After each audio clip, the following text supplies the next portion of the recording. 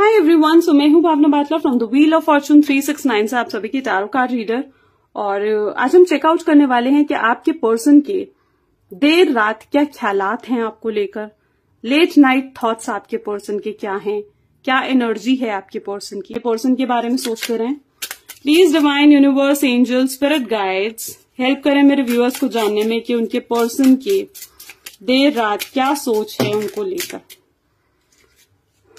Okay so ये कुछ cards हैं, इनको ले लेते हैं हम। The hanged man the magician eight of cups ace of swords one more nine of sword at the bottom we have justice चलिए, आज खुद ही डिवाइन ने आपके लिए कार्ड्स भेजे हैं। आई बिलीव कि जितने लोग इसे देख रहे हैं, अगर आप इतनी सारी रीडिंग्स में से इस रीडिंग में आए हो तो डेफिनेटली कोई मैसेज है आपके लिए इस रीडिंग में। ठीक है? तो गाइज़ यहाँ पर जो जोरियक साइंस है, पहले मैं आपको वो बता देती हूँ. Cancer Scorpion and Pisces Aries Leo and Sagittarius आज बहुत ज़्यादा स्ट्रांग है इस रीडिंग में. ठीक है? ये आपके या आपके पर्सन के ये जोरियक्स हो सकते हैं. तो गाइज़ जैसे आज लेट नाइट थॉट हम आपके पर्सन के रीड कर रहे हैं तो यहाँ पर ना सबसे पहले मुझे ऐसे दिख रहा है जैसे आपने ना अपने पर्सन का बहुत ज़्यादा इंतज़ार करा है. बहुत ज़्यादा इंतज़ार करा है और आपके पर्सन ने आपको बहुत ज़्यादा इंतज़ार करवाया है। ठीक है, चाहे वो कमिटमेंट से रिलेटेड हो, चाहे वो मैरिज से रिलेटेड हो, ठीक है? लेकिन आप ऐसा सोचते हो कि इतना इंतज़ार करने के बाद भी मुझे क्या नसीब हुआ है इस रिलेशनशिप में? इतना इंतज़ार मैंने इस रिलेशनशिप में करा है अपने पर्सन से शादी के लिए, एक स्टेबल रिलेशनशिप के लिए, एक कमिटमेंट के लिए, या सिंपली सिर्फ़ एक आई लव यू सुनने के लिए आपने इतना इंतज़ार करा है और आपको इस रिलेशनशिप में क्या मिला? आपको ऐसा लगता है कि मुझे सिर्फ़ इसमें धोखा मिला है, मुझे सिर्फ़ इसमें चीटिंग मिली है? ठीक है, मेरे पर्सन ने मुझे ही मैनिपुलेट करने की कोशिश करी है। इतना इनजस्टिस मेरे साथ हुआ है, क्या मैं डेफिनेटली इस इनजस्टिस को डिजर्व करते हो? तो कहीं ना कहीं मुझे वो आपका इंतज़ार दिख रहा है, कहीं ना कहीं जो आपने धोखा दिया है, वो चीज़ दिख रही है। और आपके पर्सन भी कहीं ना कहीं इसी बारे में सोचते हैं, उनको ऐसा लगता है कि उन्होंने आपको इतना इंतज़ार करवाया है। ठीक है, और आज वो रात को यही बैठकर भी सोच रहे हैं कि इस इंतज़ार का क्या मतलब। शायद इतना इंतज़ार उनको ये रियलाइज़ हो रहा है कि कोई और नहीं कर सकता उनके लिए जितना इंतज़ार आपने उनके लिए करा है। इतना प्यार उन्हें कोई नहीं कर सकता, जितना प्यार आपने उनके लिए करा है। चाहे उनकी ज़िंदगी में कितने ही लोग आए हों, कितने ही लोग गए हों, कितनी ही रिलेशनशिप में वो पास्ट में रहे हों मे बी उनकी पास्ट रिलेशनशिप ज़्यादा अच्छी नहीं थी।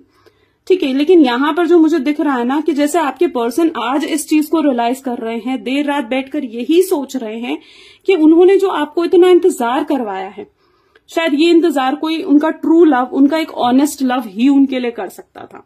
और उनको ये चीज़ महसूस हो रही है कि इस प्यार को वो खोना नहीं चाहते, इस प्यार को वो अपने हाथ से जाने देना नहीं चाहते हैं। और इसीलिए वो आज रात भी शायद प्रॉपरली ना सो पा रहे हैं, ठीक है? और बहुत ज़्यादा ओवर थिंकिंग की सिचुएशन में है, बहुत ज़्यादा आपको याद कर रहे हैं और आपको याद करते हुए रो भी रहे हैं, आपको याद करते हुए अकेलेपन को महसूस कर रहे हैं। उनको ये चीज़ महसूस हो रही है कि उनके हाथ से एक सच्चा प्यार निकल चुका है। यहाँ पर भी देखो तो क्लैरिटी का कार्ड भी है ये एस ऑफ़ स्वॉर्ड्स जहाँ पर ये दिख रहा है कि जैसे अब उनकी आँखों पर से पर्दे हट रहे हैं।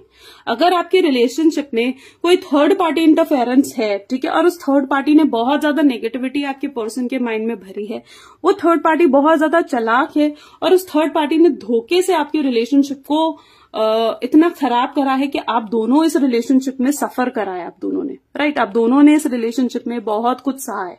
आपके पर्सन आपसे जेन्युइनली बहुत प्यार करते थे, लेकिन शायद उस थर्ड पार्टी की नेगेटिविटी की वजह से वो आज बदल चुके थे और उन्होंने आपको ये नो कांटेक्ट दिया।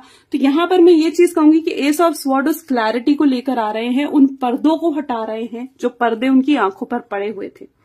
जो आपके पर्सन की आँखों पर जो पर्दे पड़े हुए थे ना उन पर्दों को थर्ड पार्टी जो है वो आ, की ने जो पाए थे पर्दे ठीक है जो थर्ड पार्टी ने उनसे झूठ बोले थे उनको मैनिपुलेट करा था ठीक है तो वो पर्दे अब उनकी आँखों से हट रहे हैं उनको थर्ड पार्टी की असलियत समझ में आ रही है कि थर्ड पार्टी ने उनके साथ गलत करा है थर्ड पार्टी ने उनके ए, आ, उनसे झूठ बोला है थर्ड पार्टी ने चलाकी से इस रिलेशनशिप को खराब करा है थर्ड पार्टी ने जान आपको ठीक है आपको नीचा दिखाया है।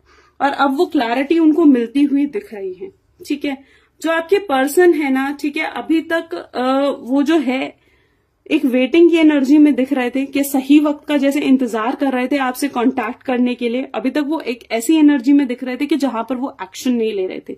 लेकिन जहाँ पर ये मजिशियन का कार्ड है, वो ये चीज़ बता रहा है कि अब वो बिल्कुल जैसे एफर्ट पाने के लिए इस रिलेशनशिप में रेडी हो रहे हैं। जैसे अब वो जो है इस रिलेशनशिप को आगे लेकर जाना चाहते हैं आपके साथ फ्यूचर बनाना चाहते हैं और आपके साथ फ्यूचर बनाने के बारे में इवन सोच भी रहे हैं। उनको ऐसा लग रहा है आ, मतलब आज रात भी उनको बैठे यही ख्याल आ रहे हैं जैसे आप के साथ अगर सब कुछ सही होता तो आपके साथ वो शादी करते अपने घर वालों को मनाते अगर घर वाले उनके नहीं मान रहे हैं ठीक है? और आगे मैरिज करते, आपके साथ घूमने जाते, एक अच्छा फ्यूचर क्रिएट करते तो मजिशियन उस फ्यूचर को शो कर रहा है, जहाँ पर वो आपके साथ रहना चाहते, एक स्टेबल रिलेशनशिप में अब लाना चाहते हैं। वो ना इस क्लैरिटी में आ रहे हैं कि अब उन्हें जेन्यनली उस थर्ड पार्टी के साथ ही रहना है या आपके साथ रहना है। क्योंकि अब वो यूँ घुट घुट कर नहीं रहना चाहते हैं। अभी तक वो घुट घुट कर आपके इस थर्ड पार्टी के साथ रह रहे हैं, ठीक है? इस थर्ड पार्टी के साथ एक मजबूरी में वो रह रहे हैं। ठीक है, लेकिन अब वो थर्ड पार्टी को भी छोड़ना चाहते हैं और आपको किसी तरीके का एक्शन या आउटकम इस रिलेशनशिप में शो करना चाहते हैं। वो ये दिखाना चाहते हैं कि इस रिलेशनशिप में, ठीक है, अब वो एफर्ट पाएँगे कि वो, अब वो ऑनेस्ट हो चुके हैं, अब वो बदल चुके हैं, अब वो सुधर चुके हैं वो आपकी वैल्यू करना चाहते हैं। अब वो ये समझ चुके हैं कि आप उनके लिए ज़रूरी हो।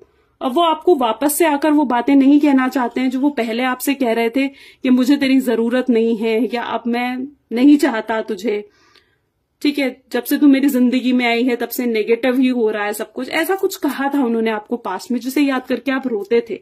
लेकिन अब अब वो उनके ख्याल बदल चुके हैं। अब वो आपको ये चीज़ शो करना चाहते हैं कि वो कितने ऑनेस्ट हैं इस लव में, कितने सच्चे हैं इस प्यार में। ठीक है, और अब वो आपको ये चीज़ भी शो करना चाहते हैं कि उन्हें वाकई में आपसे अब सच्चा प्यार हो चुका है, आपकी अहमियत समझ में आ चुकी है। ठीक है तो आज देर रात भी वो इस रिलेशनशिप को सही करने के बारे में एक सच्चा प्यार बनने के, अभी तक तो उन्हें सिर्फ़ ये मालूम था कि आप सच्चा प्यार हो, लेकिन अब वो ये भी सोच रहे हैं कि उन्हें भी आपके लिए सच्चा प्यार बनना है, एक लॉयल लव बनना है।